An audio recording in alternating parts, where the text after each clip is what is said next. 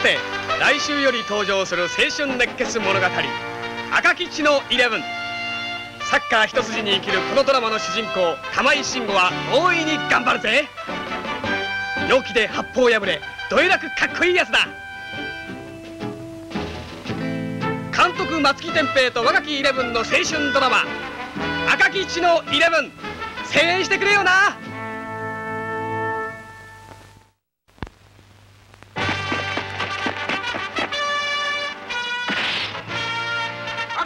のイレブン。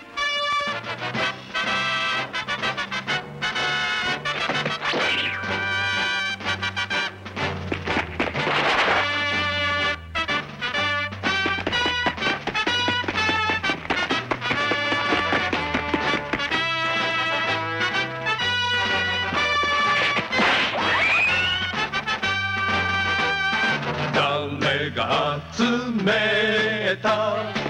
わけじゃない赤い松一呼び合って共に戦う俺たちイレブン汗にかすんだ目を開けて男が目指す敵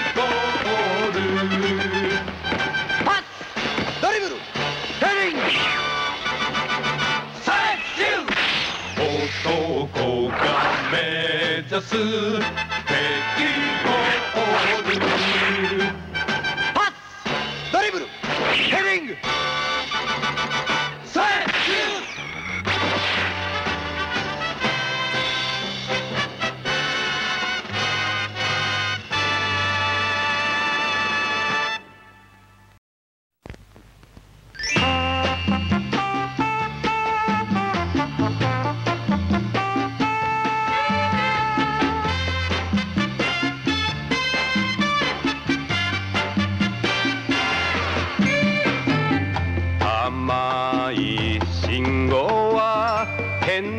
やつ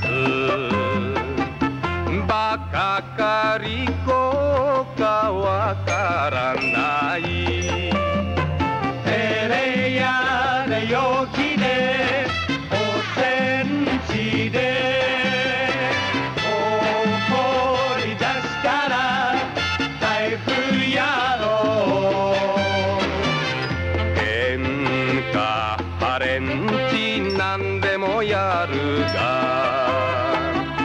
やつ